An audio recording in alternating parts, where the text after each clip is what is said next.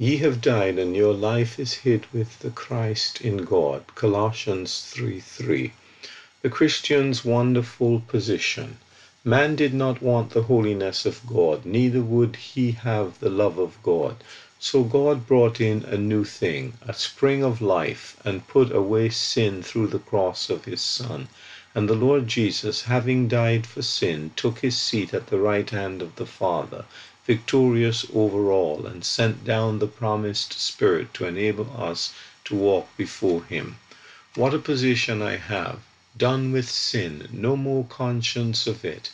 The Lord Jesus has taken my sins clean off. He could not bring us into the Father's presence with one sin upon us. No, though they were as scarlet, they shall be white as wool. The Lord Jesus became obedient unto death, and this settled the whole thing, and gives power to the poor sinner.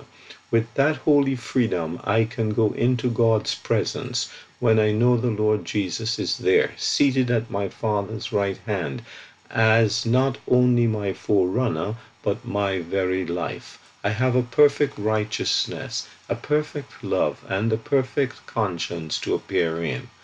You could not go into God's presence with one sin upon you. It would be folly to even think of it, madness to attempt it.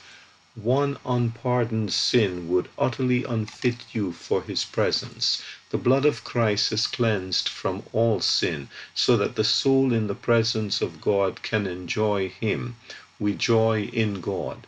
The glorified Lord Jesus, seated in heaven, sends down the Comforter to give us power for fellowship with Himself.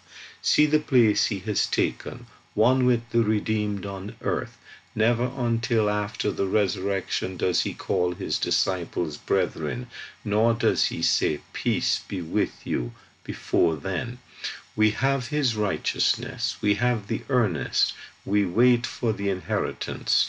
We have the love of God shed abroad in our hearts, and when we view the holiness, the power, the love of God, how delightful is the thought, He is my Father, the love wherewith He has loved His own Son, He has bestowed upon me. J. N. Darby.